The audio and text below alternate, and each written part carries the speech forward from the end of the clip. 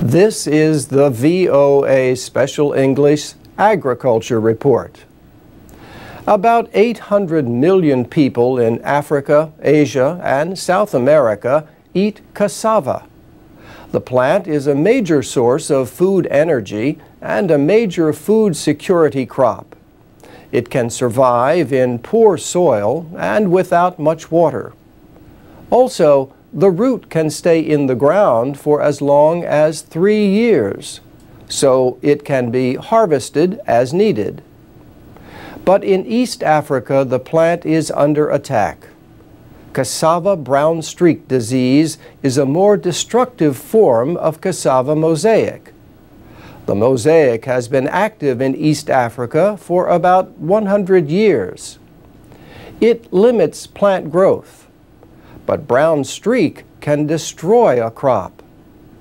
The virus was identified in Uganda in 2004 and has spread fast in areas extending from Lake Victoria. So far, brown streak has not jumped to Nigeria, the world's largest producer of cassava. But it threatens more than 30 million tons a year of production in East Africa. In some areas of Uganda, rates of brown streak reached more than 85% in 2005 and 2008. Claude Fauquet is a scientist at the Donald Danforth Plant Science Center in St. Louis, Missouri. He says a few varieties of cassava can resist brown streak. But these are not the kinds Africans like. He is working to develop disease-resistant plants, but he says it will probably take five years. Loss of cassava crops could lead to hunger, and hunger can lead to migration and conflict.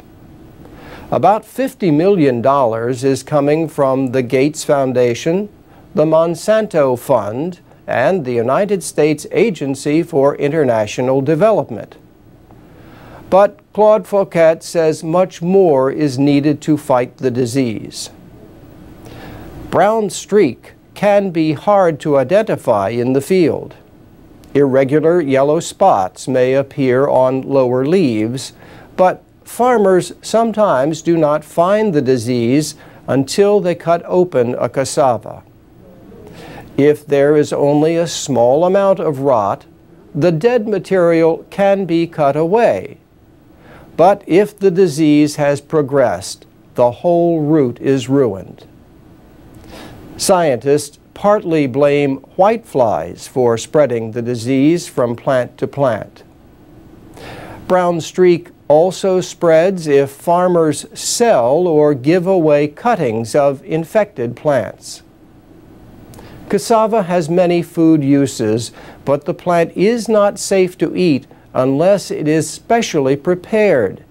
It must be processed through methods like boiling, grinding, or fermenting. A substance that can produce deadly levels of cyanide when eaten must be removed. And that's the VOA Special English Agriculture Report.